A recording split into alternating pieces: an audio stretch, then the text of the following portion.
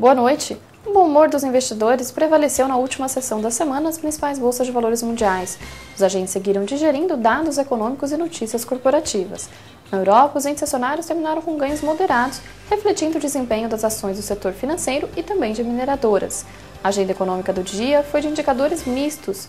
Dentre eles, vale ressaltar que o índice de preços ao produtor no Reino Unido avançou 5,1% nos 12 meses encerrados em junho deste ano.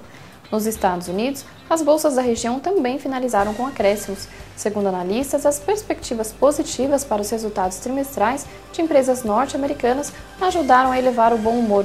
Na pauta econômica de hoje, os agentes avaliaram que os estoques no atacado cresceram 0,5% em maio deste ano quando comparado com o mês anterior.